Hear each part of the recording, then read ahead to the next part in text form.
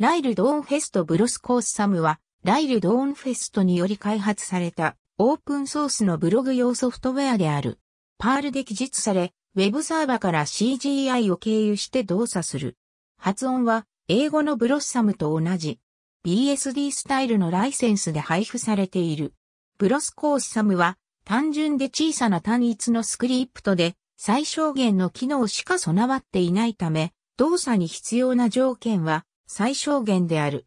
導入手順もブログのメタ情報などを設定して実行権限を付与し、数個のディレクトリを作成するのみである。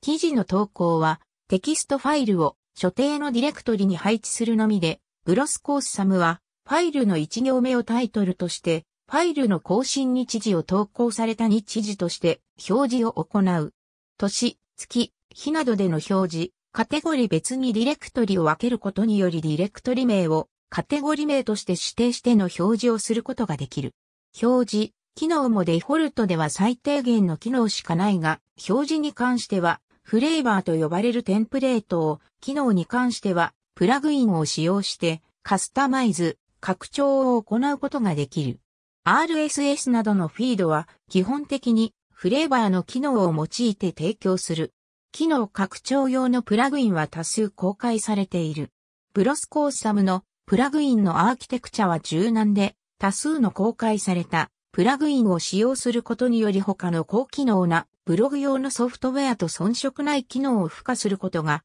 できる。プラグインはごく単純なものから大規模なものまで様々なものが公開されている。同種のソフトウェアでは当たり前の機能でもブロスコーサムにおいてはプラグインを必要とする機能は多い。